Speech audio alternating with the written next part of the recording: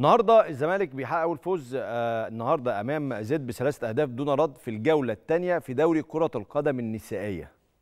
ده الفوز الأول في تاريخ النادي بعد خسارته في الجولة الأولى أمام طبعا النادي الأهلي في افتتاحية الدوري الممتاز.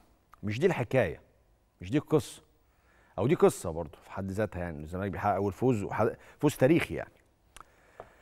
النهارده كان في لقطة لحارسة المرمى في نادي الزمالك. لقطة غريبة شويتين تلاتة أربعة. بص معايا.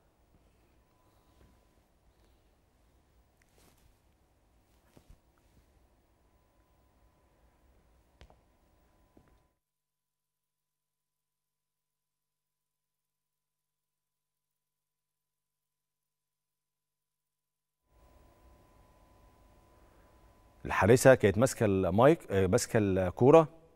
وهي ماسكة المايك. ماسكة الكورة. بعد كده سابتها طلعت بره. لقوا إيه؟ بكل هدوء بكل هدوء وثبات خدت الكورة ورايحه ترفعها يا سلام يا سلام.